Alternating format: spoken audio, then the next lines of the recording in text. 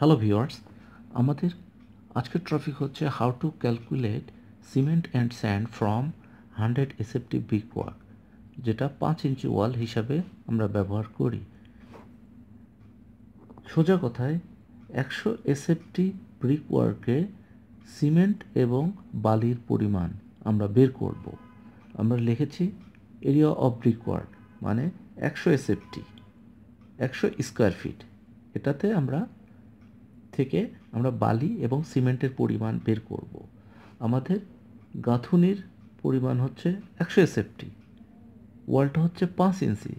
অতএব একশো এসএফটি যদি আমরা পাঁচ ইঞ্চি দিয়ে ভাগ করি, আমরা ইটের গাঁথুনির টোটাল ভলিউম পেয়ে যাব। ভলিউম পেলেই আমরা একশো এটাকে এসএফটি দিলাম, গুণন আমার ইটের থিকনেস হচ্ছে, ইটের গাঁথনির থিকনেস হচ্ছে পাঁচ ইঞ্চি। একশো এসএফটি গুণন পাঁচ ইঞ্চিকে যদি আমরা বারো দিয়ে ভাগ করি, তাহলে ফিট হবে। এটা আমরা ক্যালকুলেশন করলে পাব বিয়াল্লিশ সেফটি অতএব একশো স্কোয়ার ফিটের পাঁচ ইঞ্চি থিকনেসের এই ওয়ালটার ভলিউম বিয়াল্লিশ সেফটি অতএব আমরা মর্টারের পরিমাণ বের করব। মর্টার মানে মশলার পরিমাণ। ভলিউমের থার্টি ফাইভ পারসেন্ট ভলিউম হচ্ছে বিয়াল্লিশ সেফটি এটার থার্টি ফাইভ পারসেন্ট আমি যদি গুণন করি, তাহলে আমার মশলার পরিমাণ বের হয়ে যাবে। বিয়াল্লিশ গুণন থার্টি ফাইভকে একশো দিয়ে ভাগ করলে পয়েন্ট থ্রি ফাইভ হবে।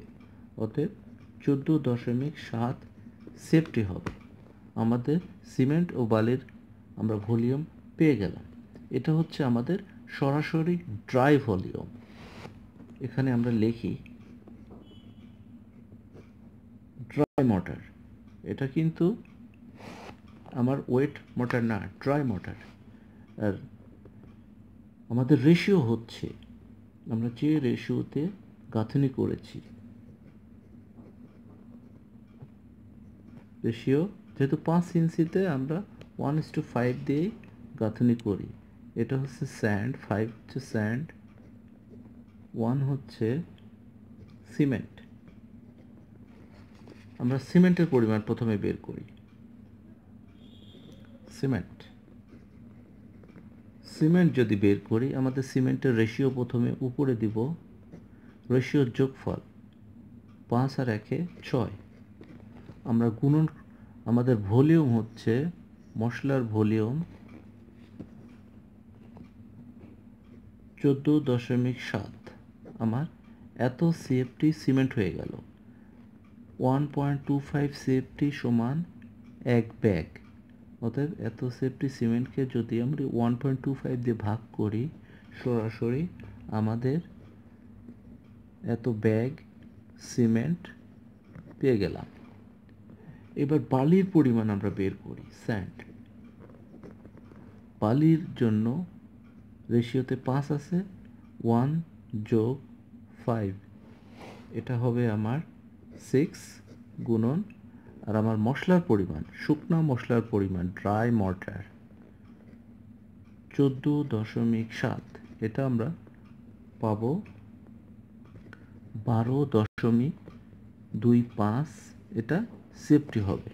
আমরা যেহেতু ব্যাগে নিই নাই, সিমেন্টের ক্ষেত্রে শুধু আমরা ব্যাগ নেব এবং এক ব্যাগ সিমেন্টের আয়তন one point two five CFT অর্থাৎ এত সেফটি সিমেন্টকে ওয়ান পয়েন্ট টু ফাইভ দিয়ে ভাগ করলে one point nine six bag পাবো। তো আশা করি আপনারা সবাই বুঝতে পারছেন বিষয়টি। তো ধন্যবাদ সবাইকে।